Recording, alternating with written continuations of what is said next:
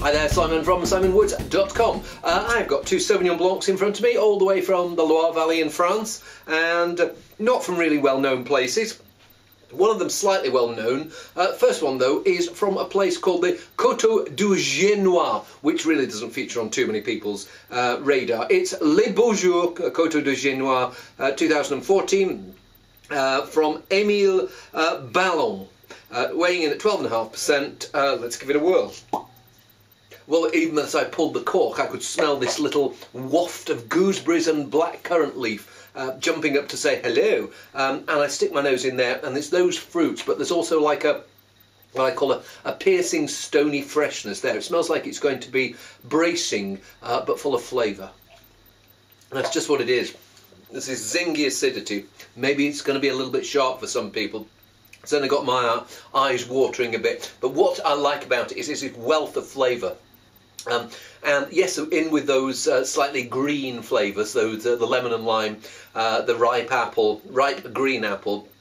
There's something a little bit richer, uh, something that almost reminds me of um, chirimoya, custard apple, um, a juicy, fleshy style, uh, but with this bracing acidity reining it all in and uh, making sure it doesn't wobble over. But pretty tasty wine.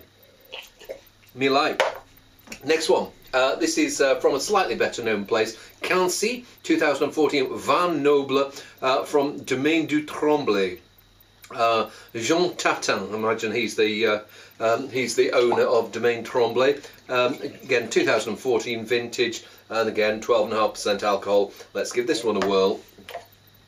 This smells um, a little more herby, things like nettles. Um, it smells like again like it's going to be uh, on that bracing fresh side, uh, but maybe not as fruity and more of those slightly earthy characters coming through.